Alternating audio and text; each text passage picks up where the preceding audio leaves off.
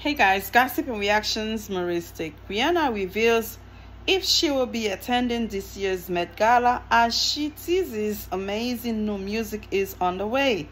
Yeah, Finn, we've been waiting, Rihanna. We need something new, baby. We need something new. Please give us something.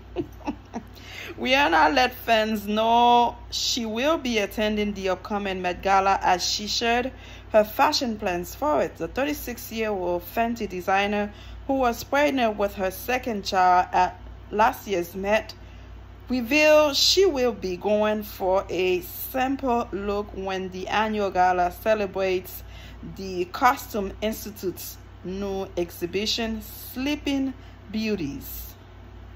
Okay, that's what's up. I'm actually keeping it real simple this year. It's gonna come to what my makeup and what my hair is going to do. The Umbrella Singer Todd Extra on Saturday. All right. Okay, baby, let's do it, man. Let's do it. You've been on vacation, having beautiful kids.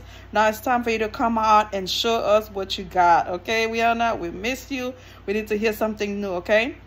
The star added that she has narrowed down her option to two dresses, very simple-ish compared to everything I have done. I am showing up for dinner. Rihanna cryptid. All right, all right, babe. We just want to see you there, girl. We just want to see you there. But remember, you've always killed the game, so we expect nothing but the best. Subscribe. May God bless you and your family and keep it growing. Bye. Subscribe.